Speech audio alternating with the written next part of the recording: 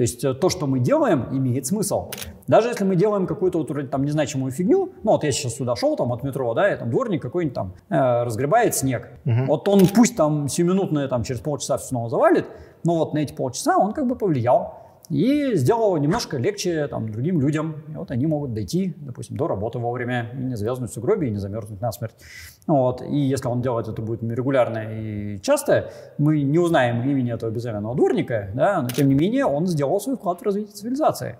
И даже тут не так принципиально важно, э, что человек делает. То есть он там изобретает лекарство от рака, или он там дворник, который дорожку чистит, да. То есть э, усилия всех важны.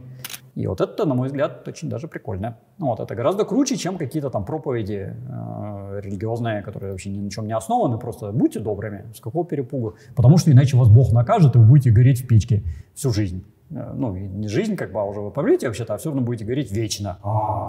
Ну, и вы можете быть добрыми только если вы очень сильно боитесь. А если вы не боитесь, то вы сволочи. Вот, и вообще несите нам деньги. В основном к этому все сводится.